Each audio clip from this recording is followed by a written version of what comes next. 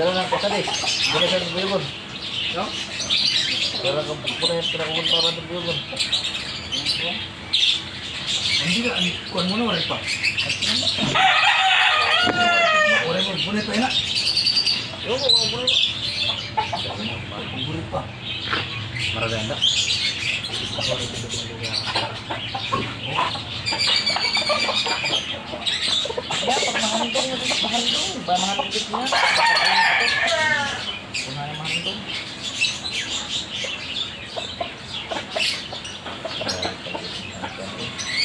Malama, baka nabunod ka natin yan.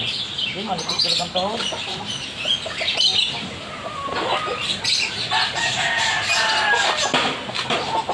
Ito lang yung sa lobo.